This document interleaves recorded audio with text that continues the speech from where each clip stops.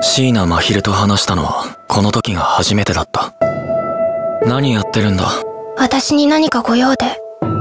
通りすがりの迷子の子。ありがとう。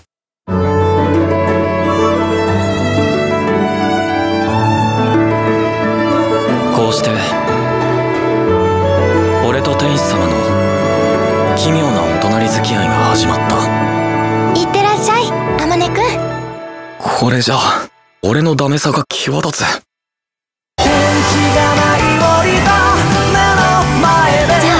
いらっしゃい。私のままではご不満だと？わざとじゃないです。鍵渡すほど仲いいんだな。育児なし。なんだかんだ俺もこの生活が気に入ってるんだよな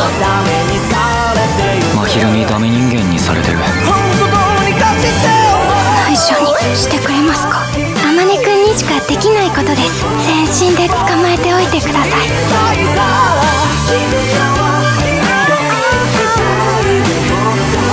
その天音くんもかっこいいですよ。こんなの好きにならない方がおかしいだろ。